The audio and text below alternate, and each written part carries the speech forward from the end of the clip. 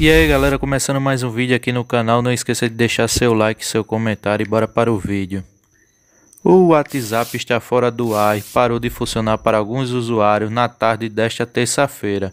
O serviço não envia mensagem, bem como não permite receber recados. A instabilidade no WhatsApp hoje começou na versão web, que exibia o aviso conectando ao WhatsApp. No entanto, o problema também afeta o app para celular em alguns casos, embora não seja possível receber um padrão para o erro.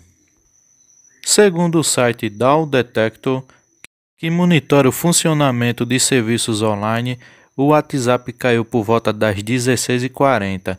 A plataforma registrou um pico com mais de 16 mil reclamações, sendo maioria de países da Europa e da América, incluindo o Brasil. De acordo com o relato, os principais problemas estão relacionados à conexão e ao envio e recebimento de mensagens.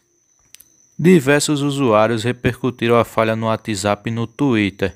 Segundo relatos, ao enviar uma mensagem pelo celular, o app exibe um símbolo de relógio ao lado do recado, indicando que o texto não foi entregue ao contato. Além disso, no caso da versão web, o mensageiro mostra o alerta, conectando ao WhatsApp. De acordo com algumas pessoas, o app para PC desconectou sozinho e deixou de carregar o QR Code para fazer login novamente. No entanto, apesar da instabilidade, alguns usuários relataram que o mensageiro continuou a funcionar normalmente.